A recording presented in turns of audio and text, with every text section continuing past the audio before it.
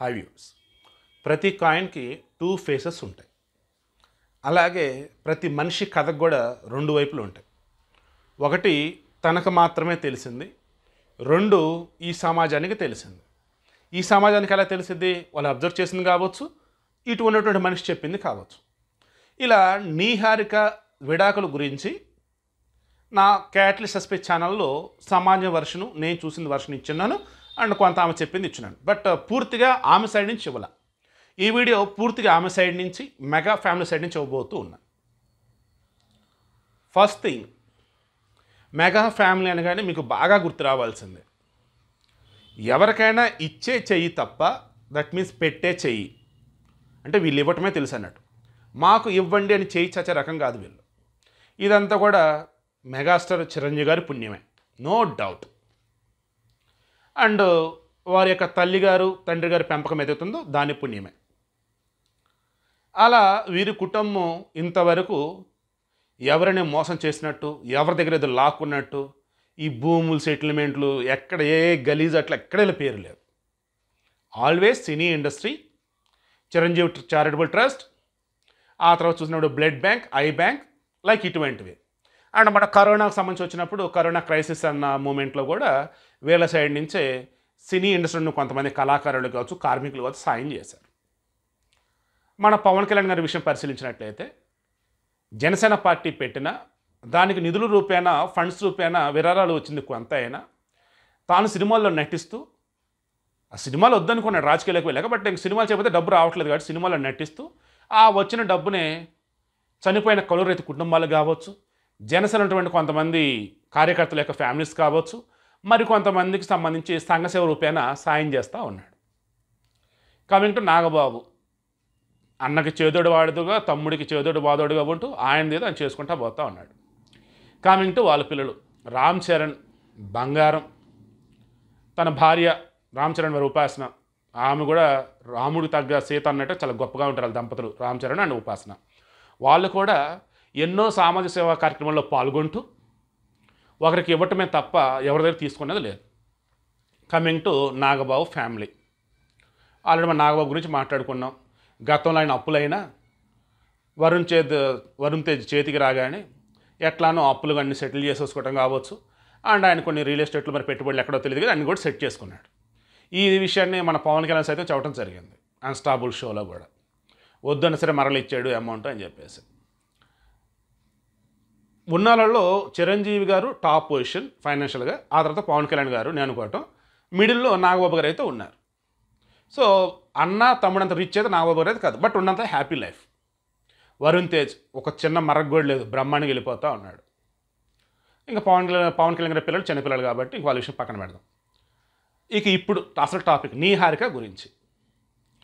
ఈ అమ్మాయికి అంగరంగ వైభవంగా రాజస్థాన్లో పెళ్ళి చేశారు జైపూర్లో. జస్ట్ లైక్ డెస్టినేషన్ వెడ్డింగ్ అన్నట్టుగా ఇంకా లైక్ అవెల్లో ఒక రాజ్ కుమార్కి చేసిన ఫీలింగ్తో మొత్తం చేశారు. ఈమె ఈ పెళ్ళికి ముందు నాకు తెలిసి రెండు సినిమాలు ఏమో నటించినట్టుంది. రెండు సినిమాలలో కూడా ఎక్కడ కూడా అసభ్య పదజాలు నోటి వెంట వచ్చింది లేదు. సినిమాలలో కూడా ఎక్కడ కూడా అడల్ట్ ఓరియంటెడ్లో చిన్న డైలాగ్ వచ్చి చిన్న సీన్ కూడా సీన్ లాంటిది కూడా ఏమీ లేవు థింక్ ఫస్ట్ మూవీ నాగసరవతి ఈమె చేసింది కదా నా సినిమా చాలా ఇష్టం అది. సినిమా మరి ఎందుకు కానీ ఆడలేదు. నాకు చాలా ఇష్టం. ఆ సినిమా కూడా ఆ సినిమా చాలా బాగా యాక్ట్ చేసింది ఈ అమ్మాయి నీహారిక. బట్ మరి పెళ్ళప్పుడు ఏం డిసైడ్ అయ్యారంటో తెలియదు ఆ అబ్బాయి చైతన్య వచ్చే సాఫ్ట్వేర్ సాఫ్ట్వేర్ ఇంజనీర్. ఈమె వచ్చే సినీ ఫీల్డ్కి సంబంధించిన ప్రొడ్యూసర్గా కావచ్చు కంటెంట్ రిలేటెడ్ చూసుకోవడం కావచ్చు ఇంకే ఇంకేవో ఉన్నా సరే పెళ్ళి తర్వాత యాక్టింగ్ అయితే వద్దు అన్న వేళ ఆల్రెడీ మాట్లాడుకోవడం చెప్పి తర్వాత వార్తలు వచ్చాయని వీళ్ళు ఓపెన్గా చెప్పున్నారు. అందుకని ఈమె ఆన్ స్క్రీన్ నటించకుండా ఆఫ్ స్క్రీన్ ఉంటూ కొన్ని వెబ్ సిరీస్లు షార్ట్ ఫిల్మ్స్లు ప్రొడ్యూస్ చేయడం జరిగింది. ఇక ఆ మధ్యలోనే ఫ్యామిలీ పరంగా చూసుకుంటూ ఉన్నప్పుడు జనరల్గానే చిన్నప్పటి మనస్పర్ధలు ఉంటూ ఉంటాయి. పెళ్ళైన కొత్తలో అన్నప్పుడు పుట్టింట్లో ఎలాగైతే ఉండాలో ఉందో అలా మెట్టింట్లో కూడా ఉండాలనుకోవటం. వీళ్ళకి నచ్చి నచ్చకపోయి కొన్ని ఆబ్జెక్షన్స్ ఇవ్వటం కావచ్చు. లేదన్నప్పుడు ఈమె ఆ ఫ్రీడమ్ అన్నది అలాగే కంటిన్యూ చేస్తూ ఉంటే అది చూసి ఇబ్బంది పడుతుంది సవాల్సి జరిగి ఉండొచ్చు ఎక్కడ జరిగేవి. బట్ అనుకోకుండా ఆ మూమెంట్లోనే ఉగాది పండుగ రోజు పబ్లో ఆమె కనిపించడం నైటు అదే రోజు డ్రగ్స్ దొరకటం. అది బాగా హైలైట్ అవటంతో పాపం ఆ తర్వాత నాగబాబు గారు అయితే కన్విన్స్ చేయాల్సి వచ్చింది సమాజాన్ని. అయ్యా మా అమ్మాయి పేరు ఈ డ్రగ్స్ రిలేటెడ్ సంబంధమే లేదు. ఫ్రెండ్స్తో వెళ్ళింది. ఇంకా వాళ్ళు ఉండమంటే ఉండటమో లేదంటే ఈ అమ్మాయి ఉండటమో ఉంది. ఓకే లేట్ నైట్ అది తప్పే. బట్ డ్రగ్స్ దీనికి సంబంధం ఏమీ లేదు. దయచేసి వేరే విధంగా ఫోకస్ చేయద్దని వేరే విధంగా తీసుకెళ్తాను కూడా చెప్పినాడు ఆయన. ఆ తర్వాత one or two months gap అనుకుంటే. ఇంకా అప్పటి నుంచి మొదలెట్టేశారు జనాలు. నీహారికకి హారికకి పడతలేదు వాళ్ళు ఆల్రెడీ వేరువేరుగా ఉంటున్నారని చెప్పేసి. అన్ఫార్చునేట్లీ సీరియస్ అన్ఫార్చునేట్లీ దురదృష్టవశాత్తు అప్పటి నుంచి సినిమాల పరంగా వెబ్ సిరీస్ల పరంగా మిగతా వాటిలో ఈమె కొంచెం హైలైట్ అవుతూ కనిపిస్తూ ఉంది మీడియాలోని మిగతా చోట్ల. ఆ తర్వాత ఏమైంది బాబు అంటే అనుకోకుండా ఇక వీళ్ళు ఒకరినొకరు అన్ఫాలో చేసుకోవటము తర్వాత ఆ నీహారికి అన్ని పిక్స్ తీసేయడం చైతన్య అన్ని పిక్స్ తీసేయడం వాళ్ళ పెళ్ళప్పుడు రిమైనింగ్ ఇక దాంతో జనాలకు అర్థమైపోయింది. రైట్ వీళ్ళ మధ్య క్లాషెస్ వచ్చేసాయి. ఇక వీళ్ళు కలిసి ఉండరు. త్వరలో విడాకులు తీసుకుంటారు అని. సమంత నాగ ఎలాగైతే అలాగా అనుకున్నారు. ఎగ్జాక్ట్గా ఈరోజు విడాకులు తీసుకున్న తర్వాత వీళ్ళు పెట్టిన పోస్టులు కూడా ఆ రోజు సమంత నాగ ఒకే పోస్ట్ పెట్టినారు. మేమిద్దరం మ్యూచువల్ అండర్స్టాండింగ్ మీద విడాకులు తీసుకున్నాం. మాకుంటూ ప్రైవసీ లైఫ్ ఉంది. మమ్మల్ని గౌరవించండి. మమ్మల్ని మా మనని వదిలేయండి అని. ఇలాగే వీళ్ళు కూడా పెట్టున్నారు అయితే కొద్ది రోజుల క్రితం ఇతను పోస్ట్ పెట్టున్నారు Chaitanya. I think two days back three days back అతను ఎక్కడో ఒక ఆశ్రమంలో విపాసన అని చెప్పేసి ఒక రకమైన మెడిటేషన్ రిలేటెడ్ అది. ఫోన్లు ఎటువంటి మన దరిదాపుల్లో ఉండు నో టెక్నాలజీ ఓన్లీ ఆశ్రమంలో వాళ్ళు పెట్టే ఫుడ్ పచ్చని చెట్లు మెడిటేషన్ వాళ్ళు చెప్పే ప్రవచనాలు ఇవి ఉంటూ ఉండాలి ఇంకంతే అలా కొద్ది రోజులు అక్కడ ఉన్నాను అసలు ప్రశాంతంగా ఉంది. ఇది కదా గొప్ప జీవితం. నన్ను నాకు మరలా పరిచయం చేసిన వాళ్ళు అతను పెట్టాడు. సో అంటే ఇప్పుడు నీహారికతో ఉన్న సమయంలో అతను పడిన బాధలన్నింటి కూడా బయటపడ్డాడు. ఇప్పుడు ప్రశాంతంగా ఉన్నాడని చెప్పి చాలామంది పోస్టులు పెడతా వచ్చారు. నీహార్గా విడాకుల టాపిక్ రావటం ఈ పోస్ట్ పెడితే ఇవన్నీ చూసిన తర్వాత జనాలు ఇంకేమనుకున్నారు? ఇంకేముంది? ఈ పిల్ల నానా రకాలుగా వాళ్ళని ఇబ్బంది పెట్టేసింది. ఈ విడాకులు కూడా వచ్చింది భరణం కూడా ఎన్ని కోట్లు అడిగింది ఏంటో బాబు? అద్దెని వీడియోలు నానా రకాలుగా వైరల్ చేసి పడేశారు. చివరికి తెలిసింది ఏంటంటే నీహారిక నాగ చే ఇతను చైతన్య ఇద్దరు కూడా మ్యూచువల్గా విడాకులు అప్లై చేస్తున్నారు. ఎందుకంటే వాళ్ళ మధ్య భేదాప్రాయాలు రావటం వల్ల.